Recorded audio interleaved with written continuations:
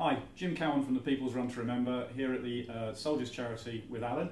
Nice to see you again, Alan. Hello, Jim. Nice to meet you. Um, now, last time we, we, were talking, you were telling us a little bit about the background and the history of the Soldiers Charity uh, and why it's still relevant today. But in terms of people that are raising money for you, you know, why specifically they, should they support the Soldiers Charity and where does that money go? Who does it help and how? Well, without uh, people going out there and running uh, or assisting in getting us some funds, we wouldn't be able to do anything because we're a we're a, an organisation that survives on donations.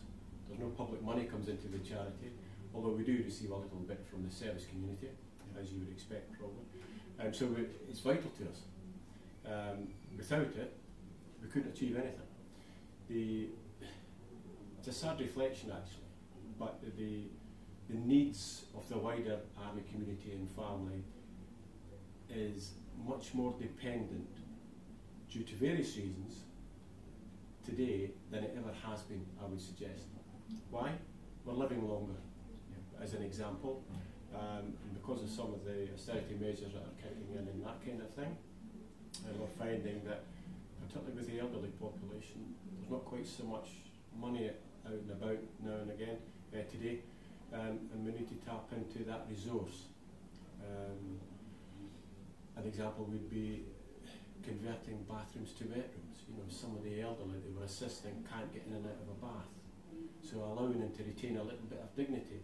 Remembering, of course, that these are the people who fought for us in the Second World War, who have or who completed national service, who or perhaps fought in Korea, yep. Malaya, Borneo, those kind of campaigns.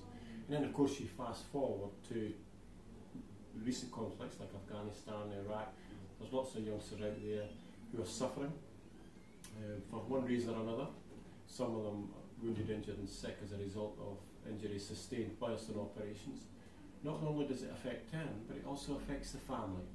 And it could be that um, because of that particular illness that the youngster has, uh, they can't support the family. So the knock-on effect to not only the individual and his, and his well-being, he feels a bit of a failure because he can't support his family, which is a real shame. But that has a knock-on effect to mum and the children. So the money that is raised makes a significant difference to the well-being of the family. I can promise you, because as head of grants for the Soldiers Charity, I deal with it on a daily basis, and I know from experience, having been here five years now, the difference it makes on the ground to the lives of particularly the children and the elderly. It's phenomenal. Thank you very much for that, Alan, and uh, yeah, as relevant as, as ever.